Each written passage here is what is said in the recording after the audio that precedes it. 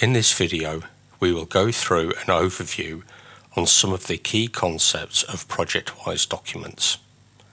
Each of the concepts shown in this video has a separate detailed video later in the course.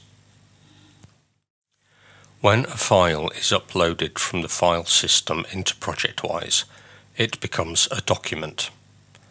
Depending on how the document is created, it may or may not have an actual file attached, and at a minimum, it will contain standard metadata such as its name and description.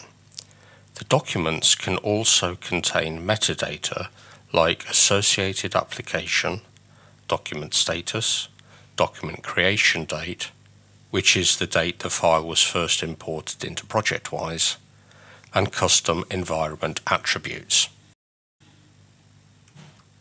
You can also create a placeholder document, which is simply a container of metadata that has no electronic file attached. Placeholder documents can be used to represent electronic files you are planning to import into ProjectWise, or hard copy documents or drawings that maybe just exist in a filing cabinet somewhere. For more information on placeholder documents, there is a designated video on placeholder documents. The files themselves are stored on a file server, whereas document metadata is stored in the ProjectWise database. ProjectWise stores far more information about documents than a traditional file system. These properties are accessible in several different ways from within ProjectWise. Documents in ProjectWise contain metadata about the file in the form of general properties and custom environment attributes. General properties such as document description, associated application, document status, document creation date, the date that the file was first imported into ProjectWise.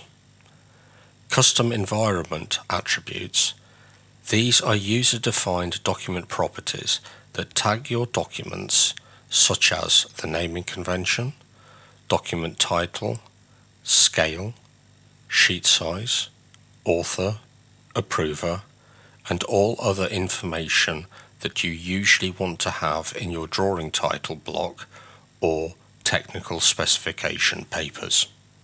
These attributes ensure that you will be able to find your documents in ProjectWise. It is easy to identify the documents when there are assigned attribute codes. When attributes are properly mapped, you should be able to generate good reports in ProjectWise Project Insights or export a register from ProjectWise Explorer that can help to track the progress of the document deliverables. They can also be used for attribute exchanges. These attributes are a great help in document searches as they can easily be retrieved and disseminated. Since these attributes are tagged in your document, it helps to manage the integrity of your document, your versions are controlled, and the user actions are recorded. These can also be used for attribute exchange in applications such as AutoCAD, MicroStation, and even in Microsoft Office Word and Excel. Now let's look at how to review document properties. To access properties not shown in the document window, you may either view them within the Preview pane press the spacebar or right click and select Properties from the menu. There are three ways you can view document properties in ProjectWise Explorer. Document Window pane. The document pane lists the documents and the properties of those documents. The Preview pane is another location where you can view the properties of the selected documents, which will typically include more information. When View Preview pane is on, and when a document, folder or project is selected, a preview pane displays in the lower portion of the document list containing more information. Tabs on the preview pane show various properties of the selected item. Properties dialog. Finally, the Properties window allows you to view and edit the document metadata.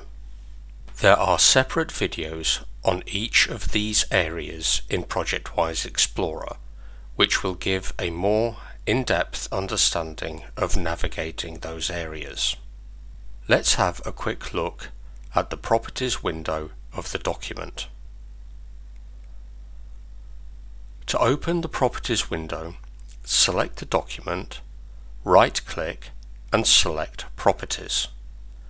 Please note you can also select a document and click the spacebar to open the Properties window.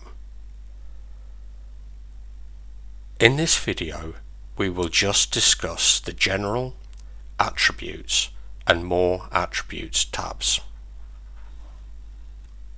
The General tab of the Document Properties dialog and the Document Properties tab of the Preview pane both display the general properties of the selected document.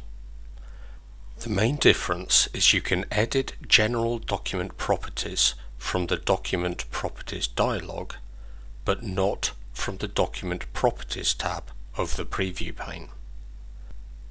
Also, the Document Properties tab of the Preview pane displays a thumbnail image of the selected document, if one exists, while the Document Properties dialog does not. The Attributes and More Attributes tabs allow you to view the attribute fields available in the selected environment, as has been defined by your administrator in the data source. The attributes that appear on these tabs depend on what attributes your administrator has created in the environment in ProjectWise Administrator. Finally, the documents are supported by an audit trail, which provides you a list of all activities that have taken place. These reports can be customized, printed, and saved to a file.